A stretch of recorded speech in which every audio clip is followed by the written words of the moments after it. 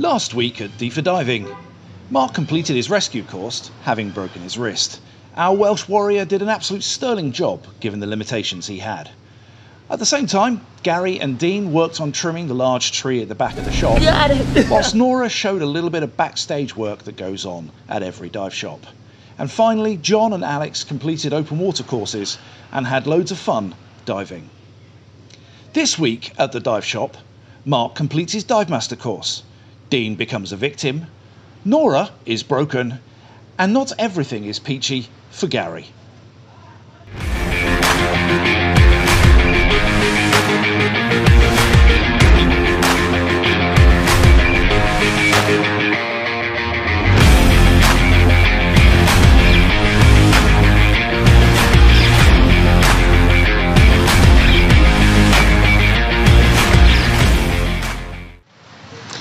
So this week Mark did a lot of fun diving and helped out with customers as well, providing in-water assistance as tail end Charlie.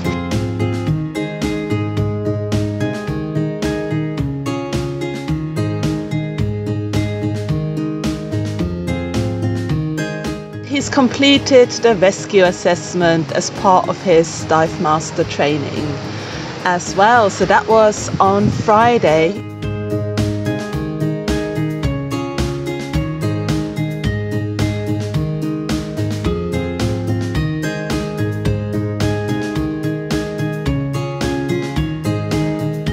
He did a really, really good job, and uh, actually, Friday morning we got to dive with the sisters at the end, uh, which was really amazing. Um, totally full of fish and very, very pretty.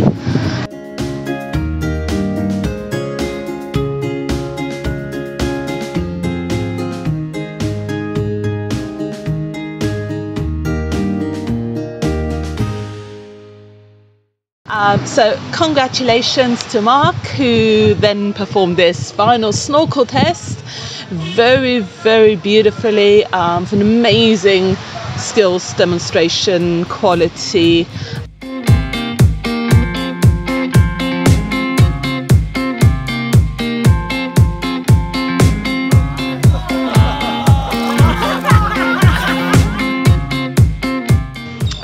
so that then led to more fun evening drinks um, with the team and um, some of our customers and it was a really really great evening.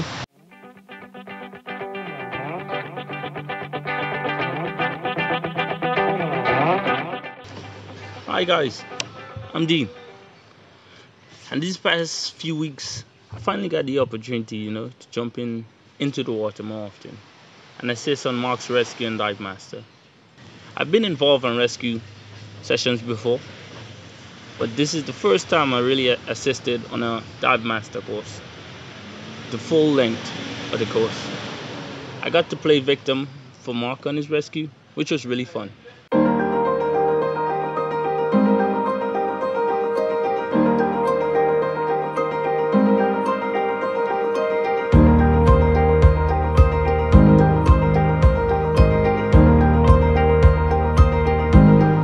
Say it was a really nice experience, especially moving out from uh, advanced and rescue diver into accomplishing my dive master, and it's really different.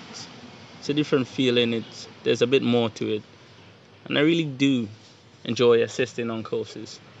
Maybe one day, hopefully, may even think about getting my instructor done, it's been really fun with Mark. I've learned so much.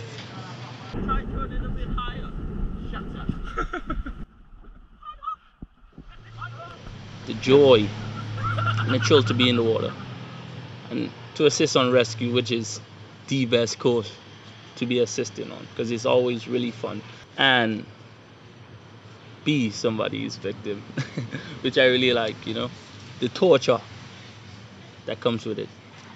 It's really thrilling. I really enjoyed it, and I hope to continue working with these guys and working ahead and assisting on more courses and bettering myself in diving.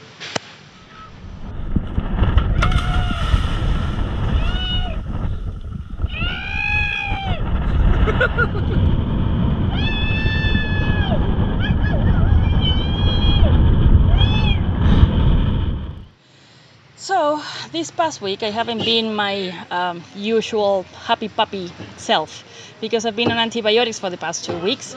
Um, I have an ear infection.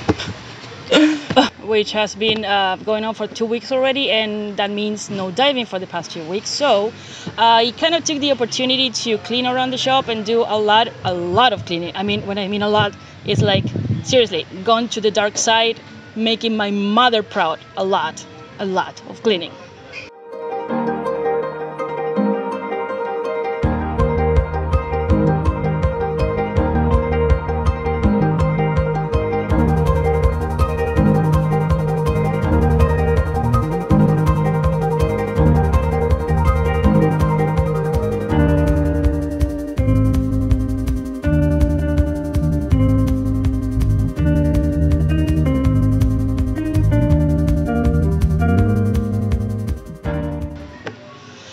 Now, don't get me wrong, I really, really, really, truly love my job, and it's actually a good thing to be out of the water for a couple of days because after diving so much and like every day for the past months, uh, your body sort of starts feeling it. So it's a good thing to have a rest a couple of days, but uh, not even being able to go for a swim here in the shore, like on the beach in the Caribbean, it's freaking torture. Seriously, I'm, that's the one part that I'm not enjoying a lot. But inflammation in external uh, ear canals are a serious thing for scuba divers. So uh, pressure equalization usually doesn't affect this. For me, it was a sort of silent thing, but it just it felt all the time like it was very wet and it itched a lot. So I went to the doctor. He said that it had a little bit of a leak inside and it looked uh, very red and uh, yeah, inflammation happening. So he gave me antibiotics for five days. Then I went uh, back to see him again, and he said, "Okay, give it a try." So I actually had a DSD on Monday, but on Tuesday it was the same thing, same feeling again, like ear going in but not actually drying. So again went to see him, and another more week. Yay! So seriously, ear infections for us scuba divers are not to be taken lightly. They're a serious thing. If you really want to enjoy this sport, I would recommend go to your doctor if you have any kind of uh, problem, uh, ear infection or whatever, if it's a re- regular thing. And yeah, just try to stay safe and enjoy diving.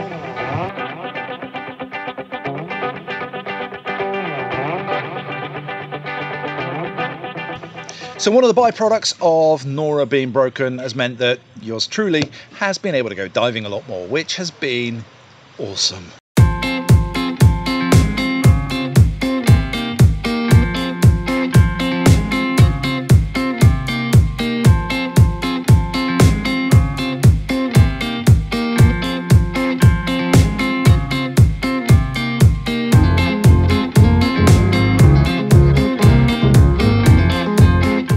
typically I might only get diving once or twice a week.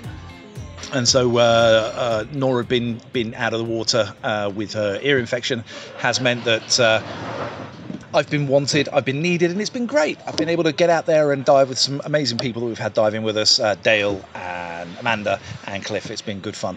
The conditions haven't been great, and it reminded me that carrying tanks back and forward on the boat every day does get a little bit tiring, but ultimately yeah, I've loved it. So, thumbs up. Uh, let's hope that Nora doesn't get her ear fixed too quickly, hey?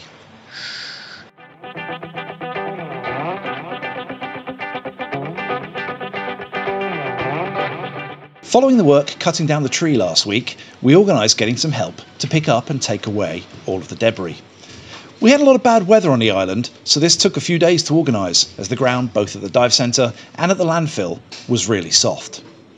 The guys brought their big truck into the garden and made quick work of all of the debris. However, the guys brought their big truck into the garden, which completely destroyed the path running between the dive centre building and the road.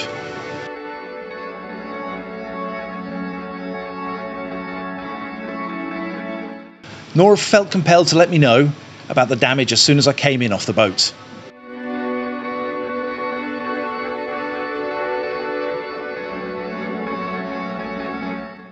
Feel as though I took it quite well.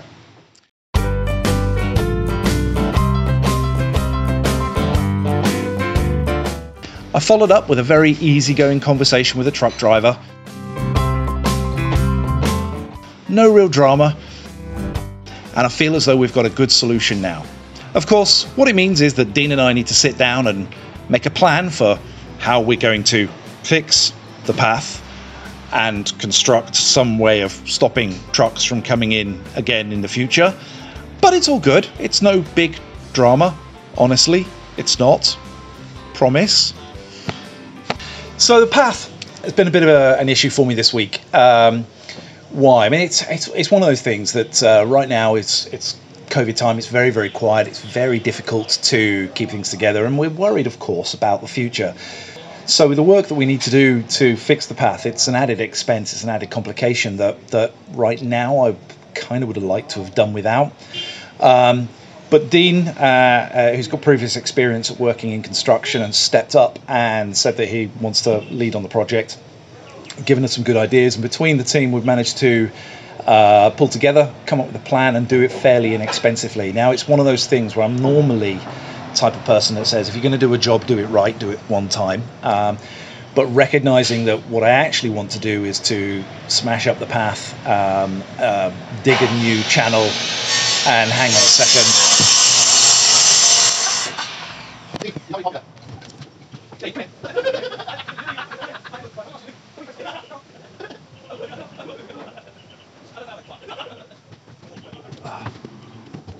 So whereas I'd previously said that Dean had stepped up, that little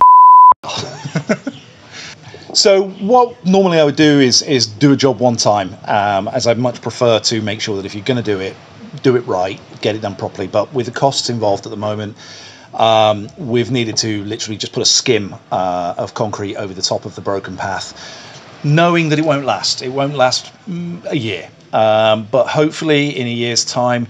The coronavirus situation will have changed. We'll have tourists back on the island, and we'll be able to then do it properly, um, do the job properly one time. Then, um, so it was frustrating coming in off the boat and seeing uh, the state of it. But you know, these things happen. Um, so the sun is shining. Let's keep smiling.